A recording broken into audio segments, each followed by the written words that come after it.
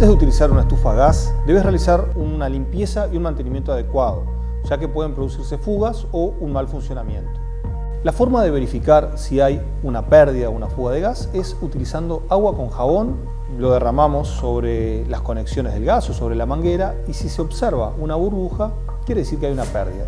Debemos interrumpir inmediatamente el funcionamiento y tratar de solucionar ese problema. Recordá dejar la ventana un poco abierta, ya que la estufa consume oxígeno y puede generarse un ambiente tóxico. Cuídate.